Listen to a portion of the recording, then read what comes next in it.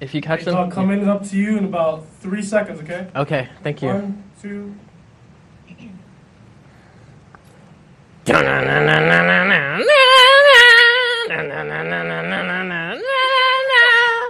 Hosted by a cock and frog, Shaka Talk. I hit the streets, been round that block, Shaka Talk, and jerk off in my dirty socks, Shaka Talk. My name is Dr. Rhea. Some people call me Fea. I've got something to say. Allow me just one prayer. Okay, I suffer from a mental block. Shaka Talk. Like, oh my god. And what the fuck? Shaka Talk. So turn it up and sit right back. Shaka Talk. Thanks. Hey, what's up, everybody? Thanks for watching a really quickie of Shaka Talk. Um, we are here today with some very special guests. I have my co-hostess here today, sitting in for the lovely Edna McMahon. We have DJ Miss Martini. Hello. And there she is. And the ladies from No Moolah! Eating in public. Is that eating in public? Yes, Oh, everybody eating in made shaka. We forgot. We always forget. So then, um, so eating in public is the name of who you are and what you do. That's right. Yeah? It's, a- it's the name of our project. Okay, and you're Nandita Sharma That's right. and Gaye Chan. That's right. right. Yay! And let's see if I got it right. It's a, a is it an art project or like a activist political? Like, are you guys terrorists? I'm just kidding. Only if you get scared. and we get scared. All right, scare us. Only if you're afraid of food. food, free food, and Free free, things. if you're afraid And of food papayas. and free stuff. Free things. Freedom, if you're afraid freedom. of free things, then it's terror Yeah. all the way. Okay. and so, eating in public, um, you guys do like some kind of gardener kind of impositions on the land. Something it said so that you, with your gardens, you want to grow and share food, but you also want to problematize the concept of public within public space. That's right. I love that. So what we mean by that is Mm-hmm. that we want to have people really question what it is that they actually have access to and what they don't. So, you know, often when we talk about the public, we think we have access to it, Mm-hmm. and we do until we need that space to actually live, right? So you can't sleep in public spaces, Okay. you can't live in public spaces, you can't grow food in public spaces. So You can just be in public it's when not- they let you. Right. So, so it it comes with this power system that you know someone has determined what that space is going to be used for, and it's not the people who actually need it. So we're, we're challenging that by saying um, that the public is not as innocent as it appears to be, uh, and it's not the exact opposite of private. It actually works hand in hand, and the It's- what we're trying to get, um, what we're trying to uh, enable people to see is that this is actually common space. Uh, this is our space to determine what what it will be used for. So it's it's going to be determined by the And what users. Nandita means by our means everyone, Everyone. instead of um, the public, which is just the people who have access to private space already. So they can do all the stuff that you can't do in public space at the private space. So if you don't have private space, then you are, criminalized. yeah, if you don't have your own place to be, have mm-hmm. Then- sex, eat, cook. Grow Then you, food. then the public space is it's Out of bound for not you. really applying to you at that moment. Mm-hmm. Okay. So you're looking at trying to raise awareness on what public really means The dichotomy of to, the to, the, semantics. to the general public. That's right. Okay. That it relies upon this also the existence of a private property system.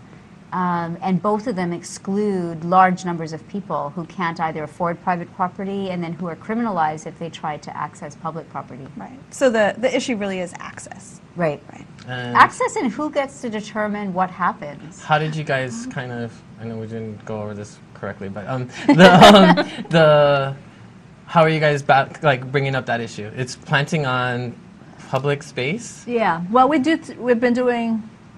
We've been being eating in public since 2003, and we've done Okay. three things so far. One is to a free garden project, which is to plant food without permission on public land, and sometimes it turns out to be private and public at the same time. Um, and the second thing we do is that we we set up free stores, and then the th- most recent thing is that we've set up um, an anarchist recycling system. And all of these things we never ask permission, and the reason is because we don't want to recognize the state as or anybody to, to have the authority to tell us what we can or can't do. So we just do it. And what have they told you? Have you encountered situations where you can't do what you think you Well, the free garden um, that we first, our first project was the free garden, Uh-huh. and that was planting food without permission on land that was basically sitting there. We should show the um, first growing, Yeah, let's look at the pictures.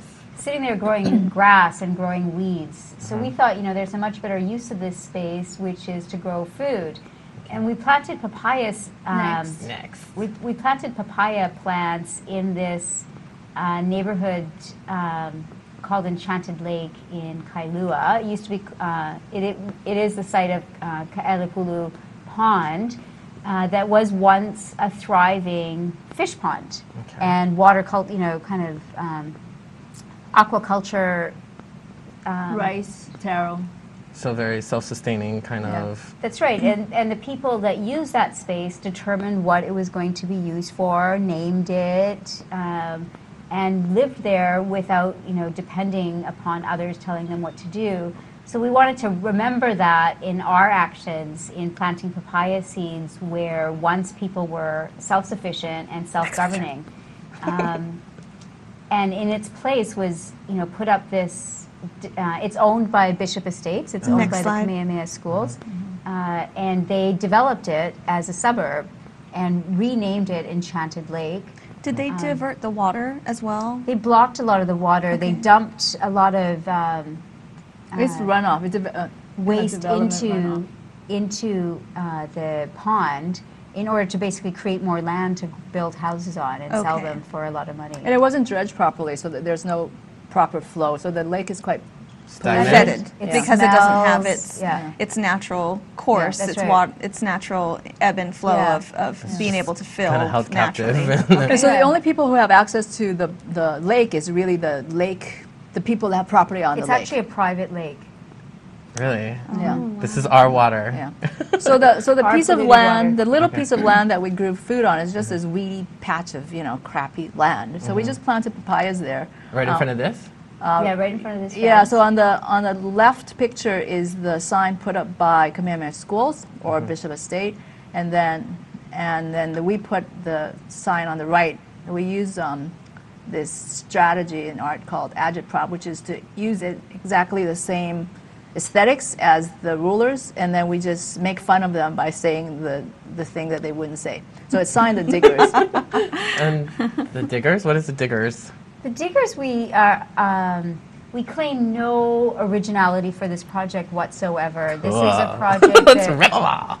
that this is a project that we borrowed from the Diggers, and the Diggers were the original group of people who called themselves the Diggers existed in the 17th century in a place Show that we now call of that little England. man digging.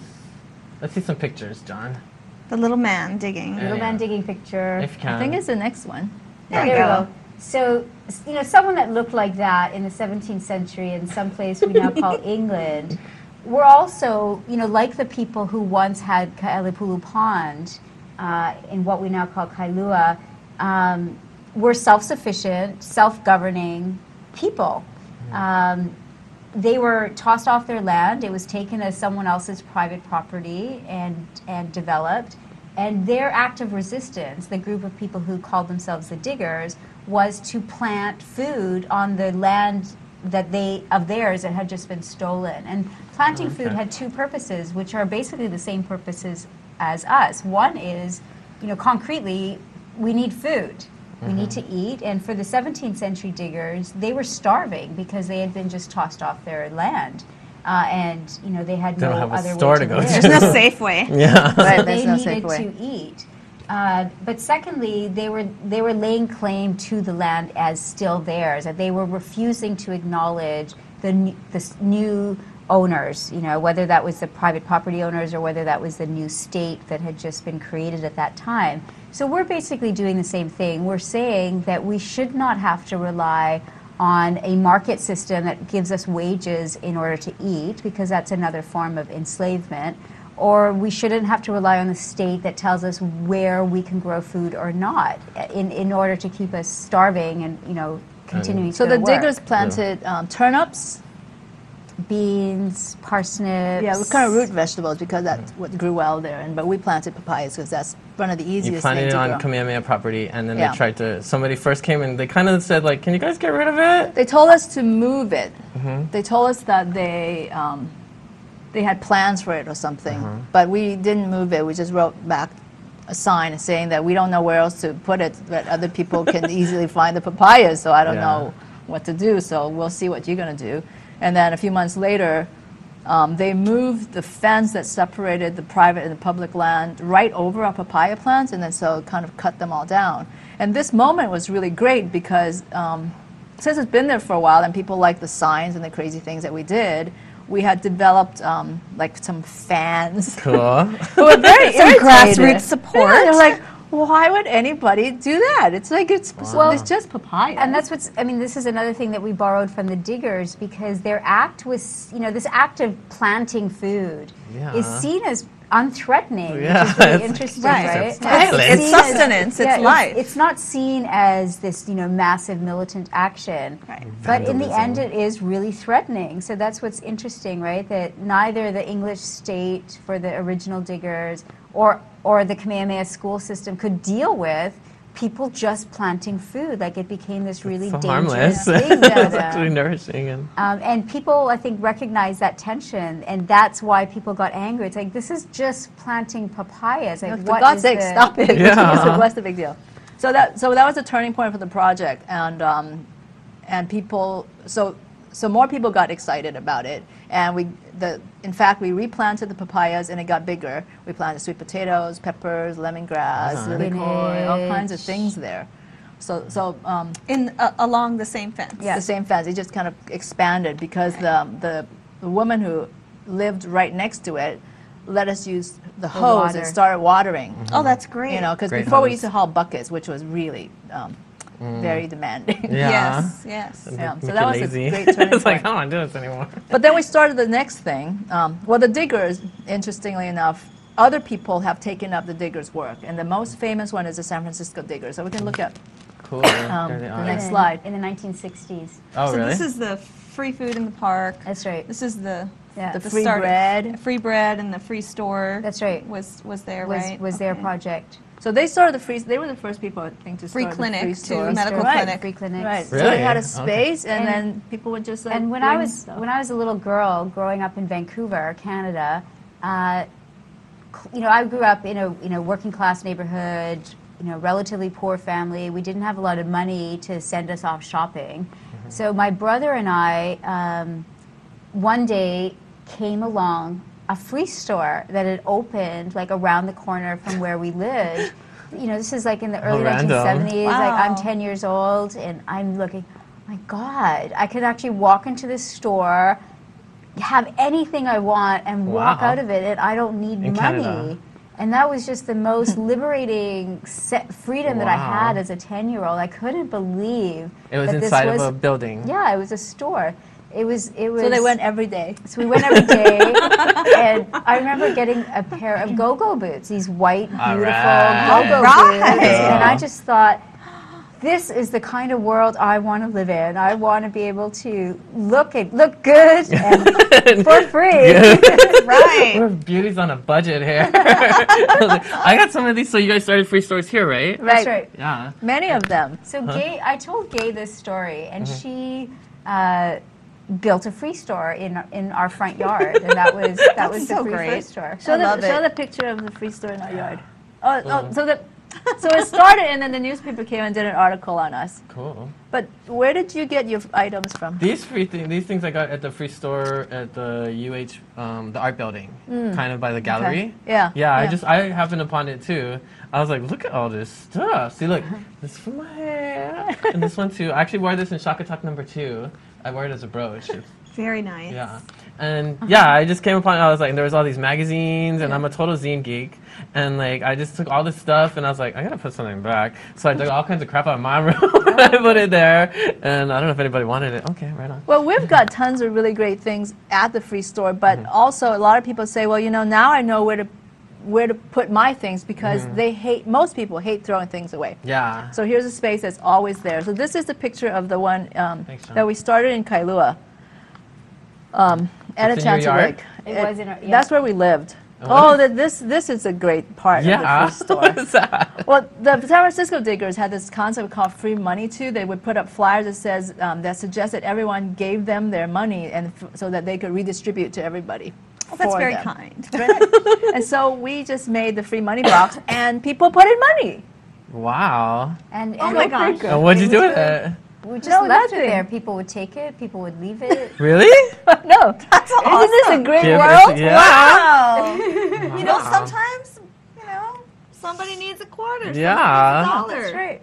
So like with the free money box, like in the morning when I go to work, it would be let's say fifty-seven cents in there, Mhm. and then when I come home, there'd be like maybe thirty-two cents in there. Like Wow. why? Why? I don't know why. Nobody Just knows needed why. enough for bus fare. Right, Yeah. maybe. You know? That's cute. If So we had, really, like, it demonstrated to us, you know, as a social project that, you know, we always, we always hear that unless you have to, you know, work, you're not going to appreciate the value of something. Mm-hmm. And that is, mm-hmm. you know, the free store has just put a lie to that because people do appreciate things that they get for free. yeah, it's, it seems they- like it's well they do- maintained. and they do give Yeah. back. Nobody works there, right? Yeah. Nobody works there. it's just like Takes care of people, itself. yeah, other people take care of it too. I was like surprised when I walked. I was like, I gotta find some more free stores. Well, the thing is that when we first set it up, there were people who were concerned that there would be like these homeless people, or scary mm. people who would take everything and then come and uh-huh. steal things from your house too. Mm-hmm. And it's proven to them that their fears are unfounded. yeah. You know, so the joke that you made, are we terrorists? Mhm. And I think that what is shown is that the terror lives inside of us because we are scared of the unknown. And once you show it, it's like, oh, it's not scary at all. Oh, Yeah. I, I got this free thing.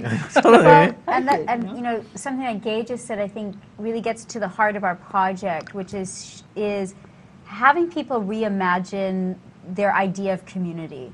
You know, so here we're living in Kailua. It's this kind of uptight middle class. You know, Enchanted Lake Park is a pretty uptight middle class, well, you know, quite militarized little neighborhood, right? and then you guys and moved then, in. and then, but what also people realize, what the free store showed them, Mm-hmm. is all the people that they actually are in, in a community with, uh, that they either refuse to see before, or Mm. refuse to acknowledge as possibly part of their community, or were afraid of.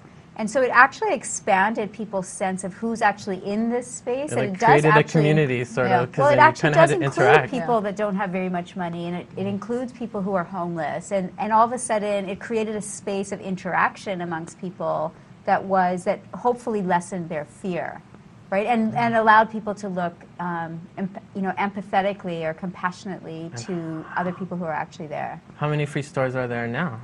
Do you know? One, two, There's secret free stores with all the good shit. the, I think the, the thriving one is at UH, the one you got your things Oh, from. really? Because I There's think a I have a couple at picture. Is there a UH, picture still, yeah. John? there's a Uh, couple even back now? one, the one with the many, many pictures. Yeah. That one. Um, So that's just like a couple of that's days of the things coming and going all the time. wow.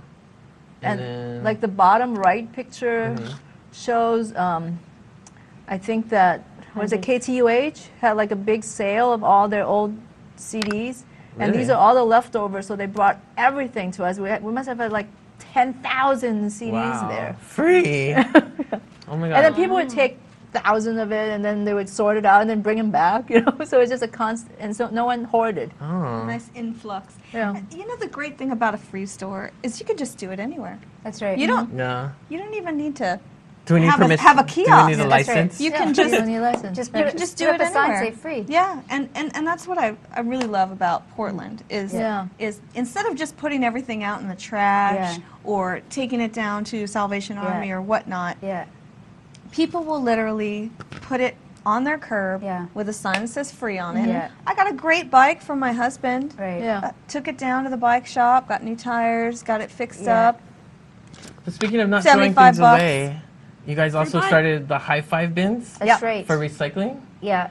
Because Uh, as we know, Hawaii has a pathetic recycling system. Say it. right? Uh-huh. Is there a the recycling system? Yeah, the state refuses to take any responsibility. I mean, the people who create this shit that we have to recycle don't take any responsibility. The state takes Next takes picture. no responsibility. So all we, we're Next left picture. with a growing pile of garbage.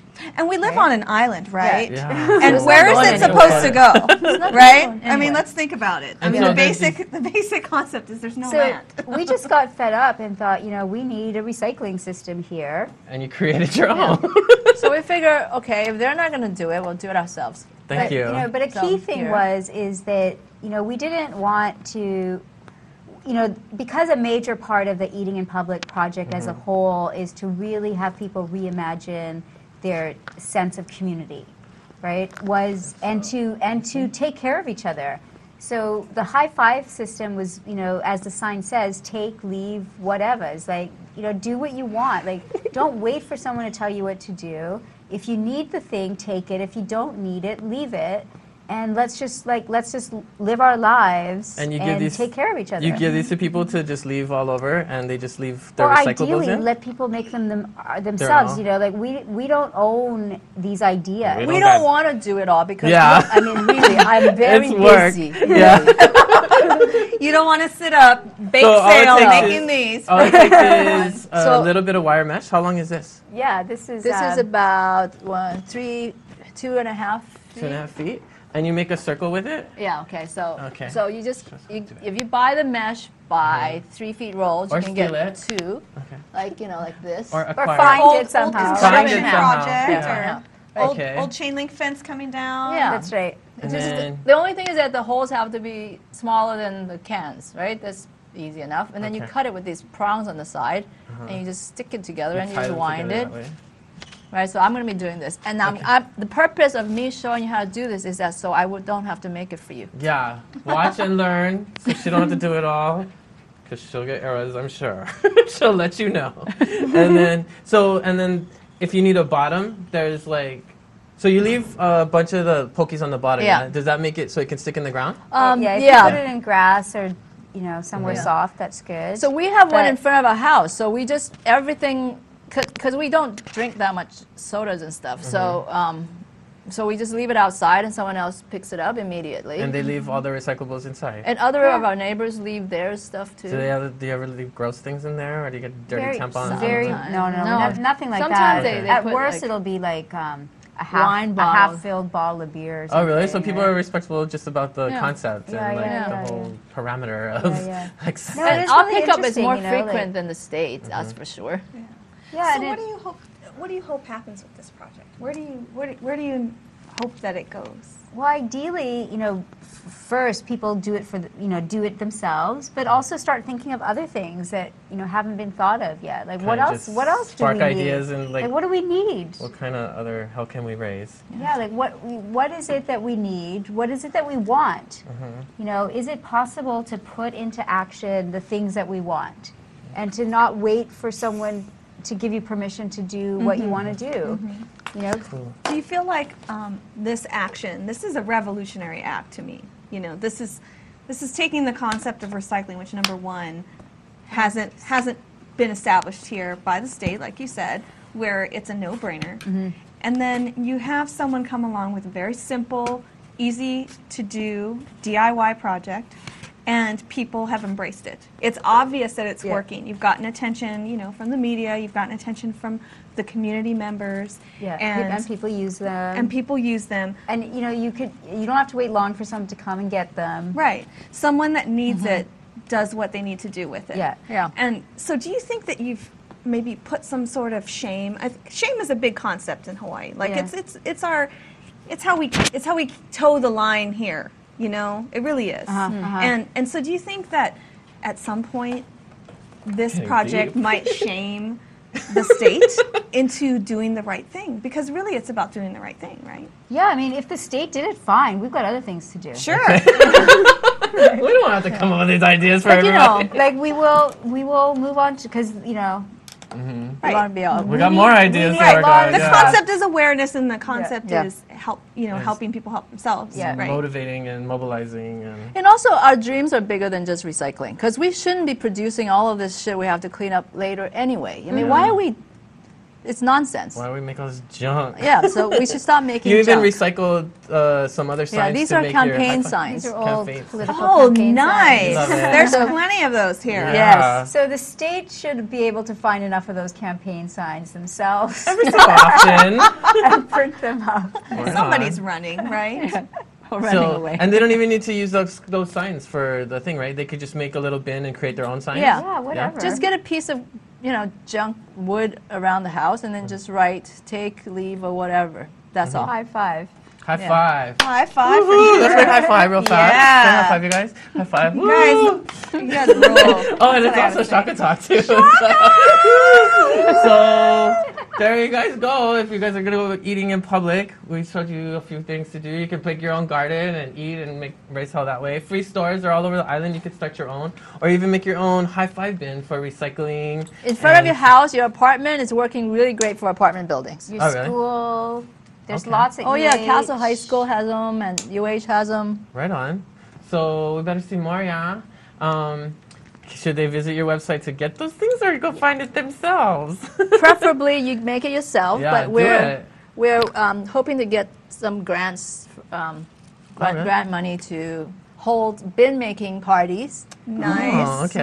Nice. So we'll provide all the tools and the um, like an supplies. orgy, but for like Yeah. recycling. So, okay. so hopefully we'll know in about a month whether we got the money or not, and then check our website and we'll. Um, Keep checking, you guys. You guys have a blog spot and all that too, yeah? It's like we have a blog, Facebook so it's and all of it. nomoola. nomoola.com. Com. Dot com. N O M O O L A, or just um, Google eating in public. Eating in public. Right on, you guys. Thank you, Thank you, Nandita and Gaye. And Good to meet you. Yeah, Yeah, it's great to meet good you. to meet Thank you you, so much for doing everything you're doing. Yeah, it's And taking the fucking time to come down here and explain Yeah, and us all. being late for her meeting. So, um, thank you, John. and then thank you, everybody else, for watching Shaka Talk and starting your own free stores and recycling and gardens and all of it. Toodaloo. Fight right the on. power. Right on. okay, cut it.